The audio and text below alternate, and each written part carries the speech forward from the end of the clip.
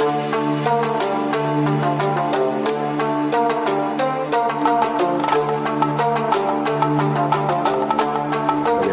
mungkin mereka bingung kon kenapa Indonesia di bawah kepemimpinan ini makin bagus gitu.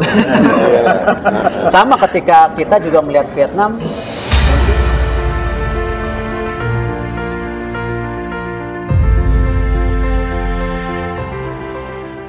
Jelang pertandingan antara timnas Indonesia dengan Vietnam pada 21 Maret 2024 mendatang sudah diwarnai perang urat syarat.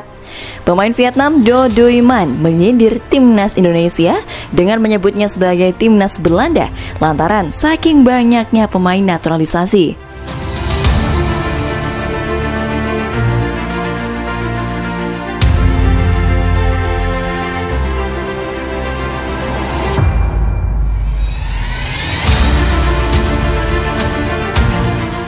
Ketua Umum PSSI Erick Thohir menanggapi sindiran yang dilontarkan pemain Vietnam tersebut. Seperti diketahui, dari 28 pemain timnas Indonesia yang dipanggil Shin Taeyong, 10 di antaranya merupakan pemain naturalisasi termasuk Tom Haye dan Ragnar Oret Mangun. Pria yang menjabat sebagai Menteri BUMN tersebut mengatakan bahwa sindiran yang dilontarkan pemain Vietnam itu merupakan hal biasa. Bahkan Erik mengisyaratkan bahwa Vietnam kini yang gentar dengan skuad Garuda. Sebelumnya, back timnas Vietnam Do Doiman menyindir banyaknya pemain naturalisasi dalam tubuh timnas Indonesia yang berjumlah 10 pemain.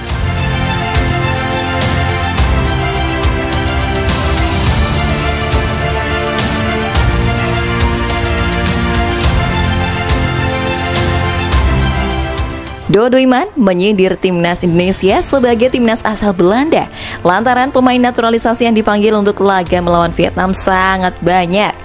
Dodo Iman sebelumnya mengatakan bahwa dirinya bingung menghadapi timnas Indonesia atau timnas Belanda. Sebenarnya, sebelum itu Indonesia sudah jadi tim yang sulit untuk dilawan. Mereka bermain sengit dan agresif. Sekarang mereka kembali melakukan naturalisasi secara massal. Kadang-kadang kami saling bercanda, mengatakan kami tidak tahu apakah kami akan bermain melawan tim Belanda atau Indonesia. Ucap back Hanoi FC itu.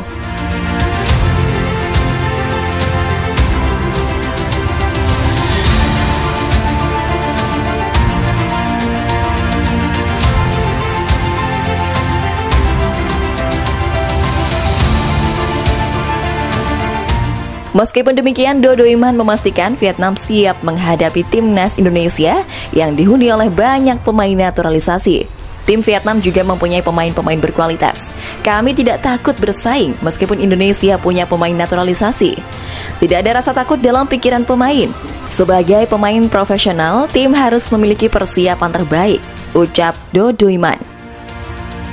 Enggak, mungkin mereka bingung kon kenapa Indonesia di bawah kepemimpinan ini makin bagus gitu. Sama ketika kita juga melihat Vietnam mungkin 5-6 tahun yang lalu kita juga bingung oh, kok mereka bagus gitu. Nggak apa-apa sama-sama bingung. Yang penting kan hasil nanti gitu. Itu lumrah lah. Ya. aja pak ya? Ya nggak apa-apa orang kita juga pernah bingung sama mereka bagus banget. Masa kita nggak boleh juga dilihat mereka mereka bingung kok Indonesia bagus banget gitu kan? Gantian lah ya Nah, menurut kalian gimana nih sob atas respon Erick Thohir ini? Jangan lupa beri komentar kalian di bawah ya. Terima kasih sudah menonton dan tunggu informasi selanjutnya. Bye-bye.